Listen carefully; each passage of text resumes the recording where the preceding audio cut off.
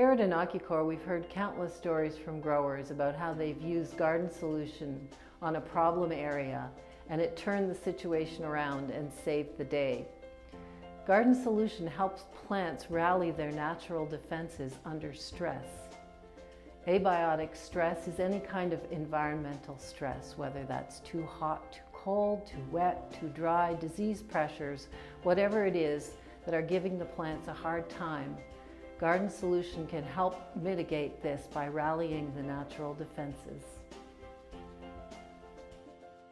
Under perfect conditions, we will see the biostimulatory effects of Garden Solution, but it's much more subtle.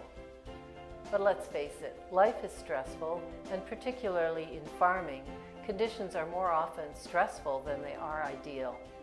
So when we go and speak to a grower, we'll often ask them, where's your trouble areas? Where do you have problems?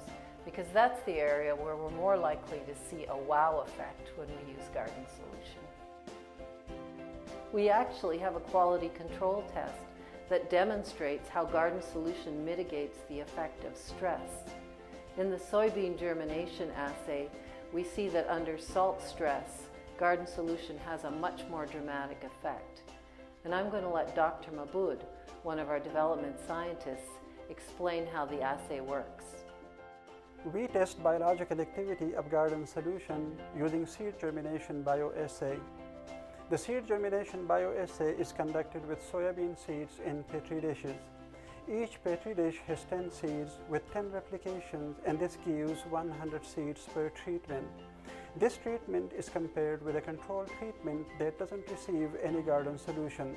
The experiment is conducted at both optimal and suboptimal conditions. Under optimal conditions, the experiment is conducted at 23 degrees Celsius room temperature. Application of garden solution enhances soybean seed germination. The experiment is also conducted under stressful conditions and we use salt stress as an indicator of stress.